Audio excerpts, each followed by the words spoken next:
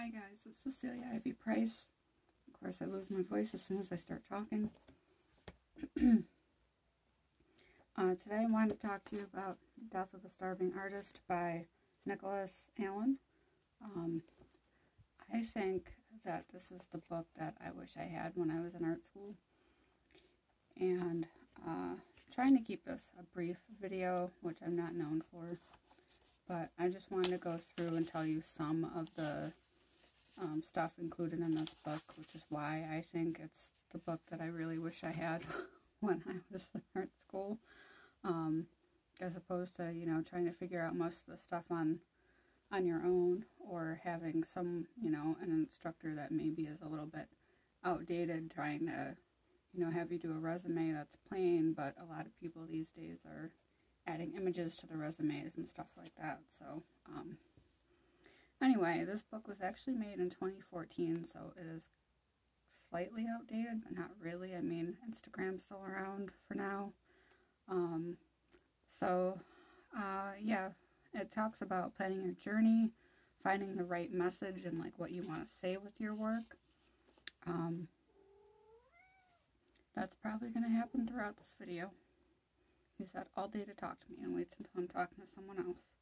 Um, a lot of marketing. I mean, tons and tons of marketing, like talking about like what cities you should target, um, venues, where to find your audience, um, how to create your toolbox and like your artist packet. It's something I had to learn in school. You know, like doing your uh, your business cards, your resume. Um, I don't think he talks too much about resume in here. He might, and I may have glanced over it because I already have some stuff like that I already have. Um, one of my favorite parts was the press release. So he actually gives you a sample press release, and um, I gladly borrowed some of that already. Um, so it talks about YouTube, Facebook, Twitter, Pinterest. You know, again, these are all still around, so it's not that dated. Um, QR codes, one thing that I should make better use of. Um, formatting your press release and stuff like that. And basically, I mean, there's so many parts of this book that I would read out of if I had unlimited time. But, um, I mean, it even talks about, like, what order to put your website pages in and, you know, goes through, like, creating a website, um, Oh, it also talks about email marketing and um, I use MailChimp, but there's another one called Con... Oh, I should have wrote that down. I want to say Content Kit, something like that.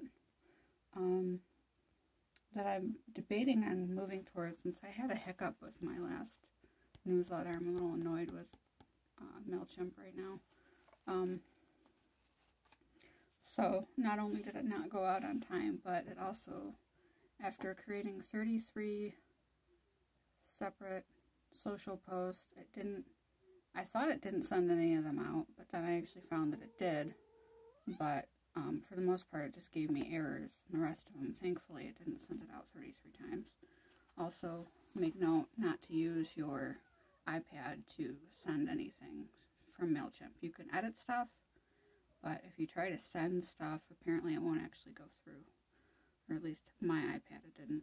Um, but, I mean, he talks a lot about clarifying your objectives, making meaningful connections with new people, increasing your visibility, name recognition, building your mailing list, which is very important. And I'm finding out through trying to read other books and whatnot how important mailing lists are. I have another book that I just finished before this. Um, but I don't think that one is really worth reviewing. This one has tons of awesome information. It's actually not like a huge, giant, crazy book.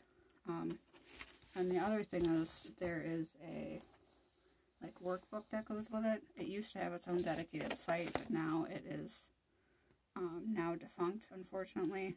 And the author is actually a um, what do you call it, realtor, which doesn't put too much faith, but Um, I mean, he's still doing well and he still advocates for artists, so um, I wouldn't let that stop you from buying this book. This has been an awesome resource, and I think every artist should have this, especially young, starting out artists.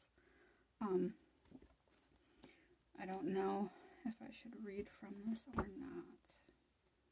Didn't want to have to edit this video, but I might. Okay, here's, yeah, this is one thing I wanted to read, and that's it. Um, I had the epiphany that it would be far more notable pursuit to share my knowledge and passion for branding, marketing, and advertising with other artists and entrepreneurs who are struggling through the same issues that I have faced throughout my career, rather than focusing it entirely on my own endeavor. After all, I believe it is through servicing others that we can come closest to achieving our true purpose in life. And I think he was able to do that in putting so much information in this book and giving you a toolkit that um, is just unbelievably useful. I don't know if you can see like the pages that I have bookmarked.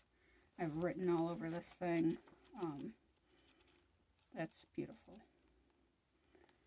And that is the end of my review. If you like these videos, please let me know in the comments. Um, also by liking and subscribing, that lets me know that there are people out there actually watching these and that, you know, you're getting some use out of them. And it's not just me talking to myself. Thank you for tuning in, and I hope you have a great day. Hasta lasagna, don't get any on you.